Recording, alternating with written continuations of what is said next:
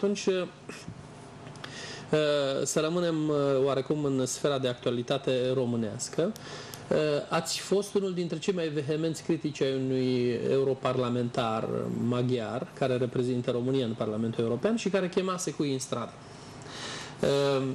Eu nu cred că e un loc mai potrivit decât Târgu Mureșu pentru a vă explica această poziție. Da. Eu nu l-am criticat direct pe el, pentru că pentru mine el o mare perioadă a fost simbol al Revoluției. Eu am criticat... Eu mă să nu-i spunem numele și dumneavoastră îl uh, identificați așa foarte ușor. Nici eu nu i-am spus numele.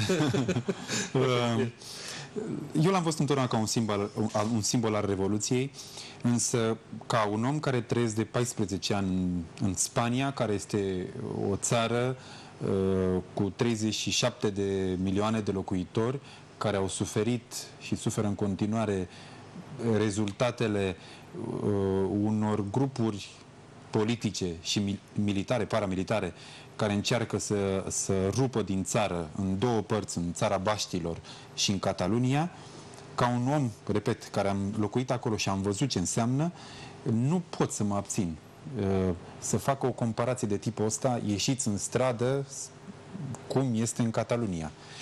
S-a făcut uh, o anumită paralelă, mai ales că s-a vorbit și pe la Organizația Națiunilor Unite despre uh, problema nerespectării drepturilor în zona noastră. Uh, ca un bun cunoscător al uh, realității iberice, uh, care e de fapt paralela cu Catalunia? Paralela, eu nici măcar nu știu de unde a început să, spună, să pună paralela. Nu știu ce a gândit când a pus-o, că a greșit-o rău de tot. Mi-amintesc că a doua zi după ce a spus-o, a rectificat-o. Cert este că am să vă spun o imagine. Eu locuiesc în Madrid.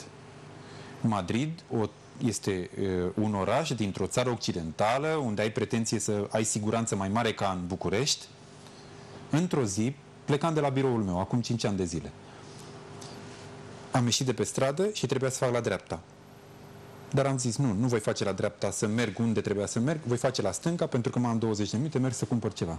Am făcut la stânga, după 200 de metri, o explozie puternică undeva în spate, deci în zona în care eu ar fi trebuit să fac la dreapta, un fum mare ca după o bombă atomică, mă rog, pentru că așa se vedea că eram aproape, am oprit mașina pe partea dreaptă, am coborât, am alergat până acolo, un crater de 10 metri adâncime, mașina aruncată în aer, doi morți, doar doi atunci, într-o, într-un oraș ca Madrid, să vorbești despre atentate și totuși cineva să-și permită în ziua de astăzi să facă comparație.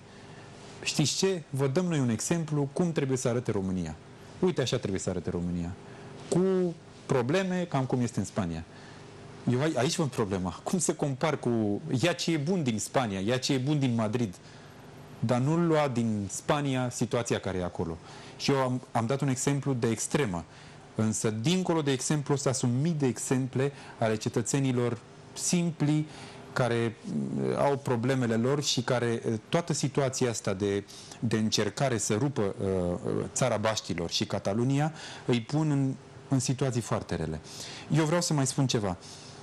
Nu știu care sunt motivele pentru care această persoană sau unii politicieni doresc ruperea României, însă un lucru este clar. În niciun caz nu cred că o fac pentru oamenii de rând, ci o fac pentru interesele lor. Așa că în momentul în care cineva, mă adresez în mod special persoanelor de rând, omului care are, eu știu, o văcuță în curte și puțin fân în, în o gradă, să nu cumva să se gândească că dacă va ieși în stradă și va cere, eu nu știu în ce zi când va fi chemat, va cere să fie ruptă România într-o anumită formă, să nu cumva să creadă că el va avea în plus ceva. Cineva va avea în plus.